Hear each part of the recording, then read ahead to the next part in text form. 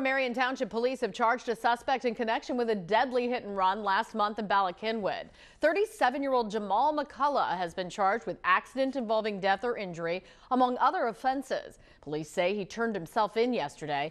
A woman using a wheelchair was hit by a Toyota Camry on City Avenue right near Conshohocken State Road on November 11th. She later died at the hospital.